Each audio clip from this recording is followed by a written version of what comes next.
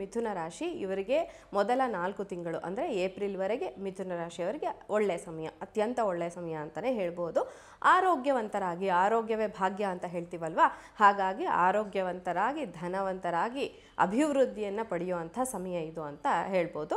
ಇನ್ನು ನಿಮ್ಮ ಪ್ರಯತ್ನಕ್ಕೆ ಯಶಸ್ಸು ದೊರೆಯುತ್ತೆ. ನೀವು ಯಾವುದಾದ್ರೂ ಕೆಲಸ ಮಾಡಬೇಕು ಅಂತ ಪ್ರಯತ್ನ ಪಡ್ತಿದ್ರೆ ಅದರಲ್ಲಿ ಸಕ್ಸಸ್ಫುಲ್ ಆಗ್ತೀರಾ. ಇನ್ನು ಸರ್ಕಾರದಿಂದ ಕೂಡ ನಿಮಗೆ ಪ್ರಶಸ್ತಿ ಬರುವಂಥದ್ದು, ಸನ್ಮಾನ ಆಗುವಂಥದ್ದು, ಮತ್ತು ನಿಮ್ಮ ಅಣ್ಣ ತಮ್ಮಂದಿರ ಜೊತೆಗೆ ಉಲ್ಲಾಸದಿಂದ ಖುಷಿ ಖುಷಿಯಾಗಿ ಇರುವಂಥ ಸಮಯ ಇದು. ತಂದೆ ಮತ್ತು ತಾತನಿಂದ ಬರಬೇಕಾದ ಯಾವುದಾದ್ರೂ ಆಸ್ತಿಗಳು ಬರುವಂಥ ಸಮಯ, ಧಾರ್ಮಿಕ ಕಾರ್ಯಗಳು ಮತ್ತು ದೇವತಾ ಕಾರ್ಯಗಳನ್ನು ನೀವು ಚೆನ್ನಾಗಿ ಮಾಡಬಹುದು. ತಂದೆ ತಾಯಿಗಳ ಆಶೀರ್ವಾದ ನಿಮಗಿರುತ್ತೆ.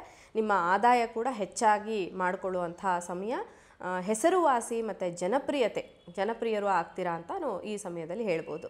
ಪ್ರತಿಭಾವಂತರು ವಿದ್ಯೆ ಕಲಿಬೇಕು ಅಂತ ಅಂದ್ಕೊಂಡಿದ್ರೆ ಖಂಡಿತ ಇದರ ಈ ಟೈಮಲ್ಲಿ ಒಳ್ಳೆಯ ವಿದ್ಯಾಭ್ಯಾಸಕ್ಕೆ ಅವಕಾಶ ಇರುತ್ತೆ.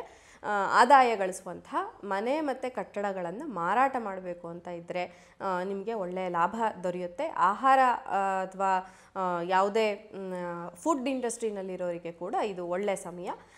ಸಾಮಾನ್ಯವಾಗಿ ಮಿಥುನ ರಾಶಿಯವರು ವಿನಯಶೀಲರಾಗಿ ಇರ್ತಾರೆ ಈ ಸಮಯದಲ್ಲಿ ಅಂತ ಹೇಳ್ಬೋದು. ಮತ್ತು ನೀವು ಮಾಡುವಂತಹ ಕೆಲಸದಲ್ಲಿ ಅಂತ ಹೇಳಿದ್ರೆ ಬಡ್ತಿ ಪ್ರಮೋಷನ್ಸ್ ದೊರೆಯುವಂಥ ಅವಕಾಶ ಇರುತ್ತೆ. ಸೌಭಾಗ್ಯ ಪ್ರಾಪ್ತಿ ಅಂದರೆ ಇದೆಲ್ಲ ಸಿಕ್ಕ ಮೇಲೆ ಇನ್ನೇನು ಸೌಭಾಗ್ಯ ದೊರೆತಂಗೆ ಅಲ್ವಾ?